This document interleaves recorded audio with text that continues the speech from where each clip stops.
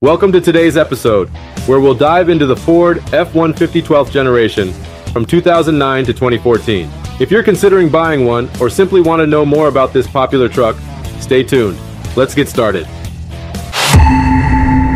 First up, let's talk about some common issues with the V6 motor. One frequent problem is the engine stopping randomly, often linked to a faulty auto body actuator system. The turbocharged engine's vacuum pump might leak oil, affecting brake performance. Watch out for oil leaks and misfires under load, especially in humid conditions. Coolant leaks and timing chain stretch are also known issues, so keep an eye out. Now let's move on to the V8s. The EVAP vent can cause rough starts and stalling, often due to a bad purge valve.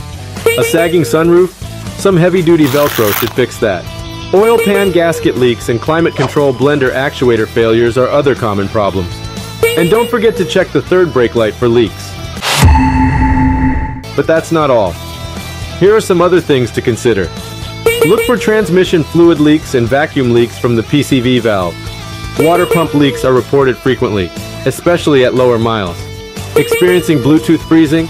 A quick fuse removal and restart should do the trick. And always, always check for rust, especially on the frame. So, what's the final verdict?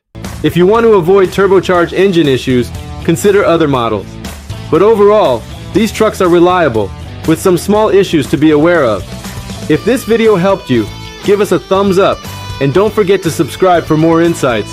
Always appreciate and respect one another, and I'll see you next time.